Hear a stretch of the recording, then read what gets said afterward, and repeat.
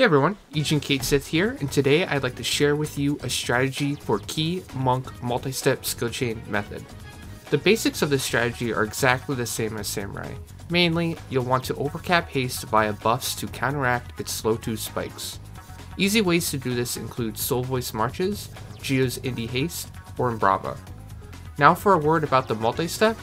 Assuming you can keep Impetus up the entire fight via core resets, I'd say Monk has an even easier time killing Kei with multi-step than Samurai, which is crazy because I'm sure most people know how amazing Samurai is at multi-step. But Monk has some of the strongest multi-steps in the game, and now that Victory Smite is so strong with it rank 15 Empyrean, it gives Samurai a run for its money. If Impetus wears or gets dispelled, the fight drastically slows down though.